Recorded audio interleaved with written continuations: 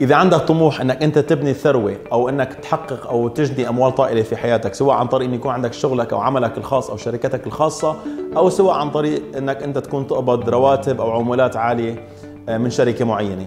لازم تفهم القاعدة بالدرجة الأولى العملية العملية والأساسية لجني الأموال بالحياة.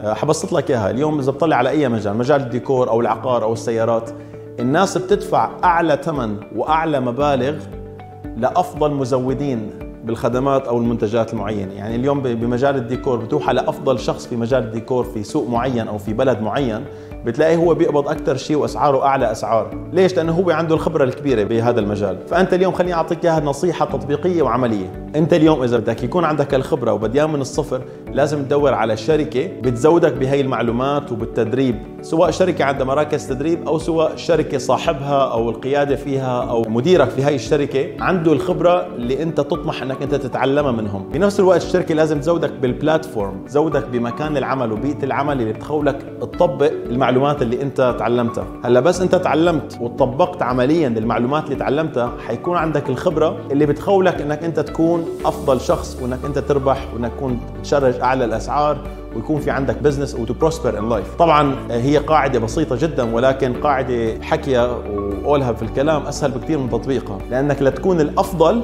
لازم تعمل أكثر شيء. هذا الموضوع إنه والله أنا بدي أشتغل بذكاء ما بدي أشتغل بتعب حالي طول حياتي. هذا أنا شيء ما بأمن فيه. لأنه أنا بتخيل ما في حدا بفيق الصبح بيقول أنا بدي أشتغل اليوم بذكاء وبعد بكرة بذكاء بس اللي بعده بدي أشتغل بغباء. كل يوم كلياتنا بنفيق الصبح بنشوف شو الله عطينا أكثر شيء قدرة وذكاء وقدرة عملية على فهم الأمور وبنشتغل. يعني موضوع إنك أنت تشتغل بذكاء ما هو موضوع إن أنت عم تاخذ قرار فيه. ولكن الموضوع اللي بتاخذ قرار فيه هو الجهد وال persistency كم عدد الساعات اللي عم تحطها باليوم وشو هي ال quality شو هي نوعية هالساعات من العمل اللي انت عم تحطها كل يوم؟ يعني انت كل يوم تيجي على الشغل لازم يكون هدفك انك انت كم بدك تتعلم بهذا اليوم وكم بدك تطبق وكم بدك تمارس وكم من الخبرات حتكتسب بهذا اليوم؟ وكل ثلاث أربع ساعات من كل يوم بحياتك بالعمل لازم تشوف تطلع لورا ثلاث أربع ساعات تشوف أنا شو تعلمت اليوم شو اكتسبت اليوم مشان أنت تتأكد إنك أنت you're progressing وإنك أنت عم تنمو يوم بعد يوم بالحياة. مثل ما قلت لكم قاعدة بسيطة وسهله الفهم وأنا اي كل قواعد النجاح بالحياة هي قواعد جدا جدا بسيطة. يعني أنا هل من المعقد إنك أنت تفهم لما بقول لك أنا إنه ما تستسلم؟